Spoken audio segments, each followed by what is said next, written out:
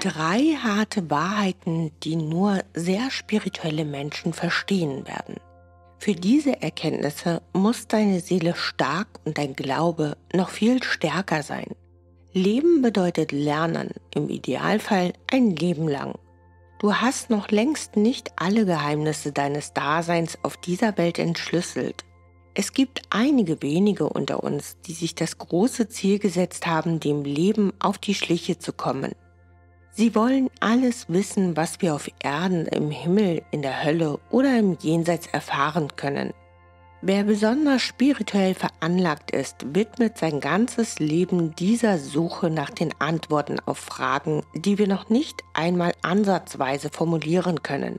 Keine Sorge, du musst dafür in kein Kloster und keinen Tempel oder eine andere abgeschottete Institution eintreten. Wir haben uns schlau gemacht, was zutiefst spirituelle Menschen am Ende ihrer langen Suche und ihrer umfassenden Recherchen zu diesem Thema als große Wahrheit erfahren. Nimm mit uns die Abkürzungen, entdecke in diesem Beitrag, welche die drei mit Abstand härtesten und schmerzlichsten Wahrheiten sind, denen man sich als spiritueller Mensch stellen muss. Wenn du noch nicht Teil unserer großartigen Gemeinschaft bist, dann laden wir dich jetzt ein, unseren Kanal zu abonnieren, um keine spannenden Beiträge mehr zu verpassen.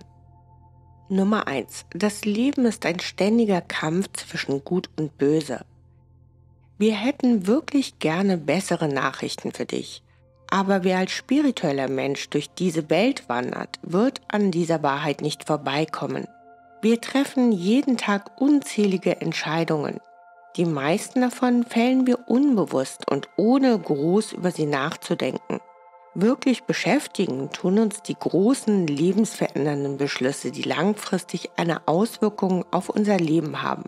Aus spiritueller Sicht jedoch sind es die tausend Kleinigkeiten, die wir gar nicht groß beachten, die unterm Strich die Rechnung bilden, die dem jüngsten Gericht oder Karma präsentiert wird.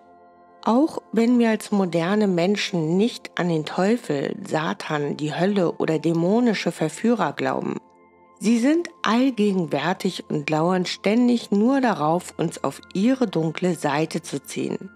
Jede deiner täglichen Entscheidungen kann zugunsten oder zugunsten des Bösen ausfallen. Du hast es in der Hand, ob du dich in kleinen Schritten zu einem durch und durch guten Menschen wandelst oder ob du den Verlockungen der anderen Seite nachgibst. Dieser Kampf hört niemals auf und wir sind mittendrin. Allerdings müssen wir die abstrakten Begriffe von Gut und Böse, Tugend oder Sünde ein wenig weiter und moderner fassen. Heute spielen Anstand und Moral zwar immer noch eine große Rolle, und was richtig und was falsch ist, wissen wir ebenfalls. Doch versündigen kann man sich auch gegen die Umwelt, den Planeten, die Zukunft unserer Kinder und gegen alle hilflosen Lebewesen, die Teil der Schöpfung sind. Nummer zwei: Glauben nimmt uns in die Pflicht, die Welt zu erschaffen. Diese zweite Erkenntnis klingt schon verlockender, auch wenn sie uns ziemlich brutal in die Pflicht nimmt. Doch der Reihe nach. Von Buddha wissen wir, unsere Gedanken erschaffen unsere Welt. Jesus hat uns gelehrt, bittet und so wird euch gegeben. Nehmen wir diese beiden Überlieferungen als Ausgangspunkte für die Botschaft, die hinter dieser Wahrheit steht. Wer glaubt, wird sich also aktiv an der Gestaltung der Welt beteiligen. Jeder Funken Hoffnung, der in uns keimt, wird als kleiner Energieball nach außen getragen und bewirkt irgendwo irgendwie etwas Gutes. Jede nette Geste, jedes freundliche Wort löst irgendwo eine positive Gegenreaktion aus. So weit, so gut. Wir kennen diese Gesetzmäßigkeit und wir wissen, dass sie unbestechlich ist. Wer glauben kann, egal woran, ist daher immer ein Schöpfergeist. Wir sind wie Designer, die jeden Tag mit ihren Gedanken, Gefühlen, Worten und Taten die Welt neu erschaffen. Nichts, was uns bewegt, bleibt unbeobachtet oder ohne Folgen. Wenn du morgen sterben müsstest, welche Welt würdest du erschaffen? Frage dich das ruhig täglich. Es schadet nicht, die persönliche Willenskraft und die Macht der eigenen Gedanken stets vor Augen zu haben. Kein Mensch ist hilflos, der an etwas oder jemanden glauben kann. Nummer 3. Negatives Denken schadet uns weit mehr, als wir ahnen. Die dritte große Wahrheit, mit der sich spirituell zentrierte Menschen auseinandersetzen müssen, ist diese. Wir haben den Punkt mit den Gedanken und ihren Konsequenzen schon kurz angesprochen. Doch die eigentliche harte Wahrheit hinter dieser Erkenntnis ist, dass es alles andere als einfach ist, die kritischen Stimmen in unserem Kopf auszublenden. Sogar Ordensleute berichten nach Jahren an Kontemplation in Abgeschiedenheit und Stille, dass ihnen diese Übung einfach nicht gelingen will. Es braucht einen eisernen Willen und beinharte Disziplin, um uns die richtigen Gedanken zu befehlen. Diese Selbstkasteiung musst du üben und das am besten täglich. Es ist so einfach, schlecht über sich und andere zu denken. Mit einem vorschnellen Urteil sind wir rasch zur Hand. Doch das Geheimnis eines glücklichen Lebens besteht darin, überall das Gute zu sehen. Und um es zu sehen, müssen wir erst denken und fühlen, dass es gut ist. Alles beginnt mit einem einzigen Gedanken. Unser heutiges Fazit. Die Wahrheit ist uns Menschen zumutbar.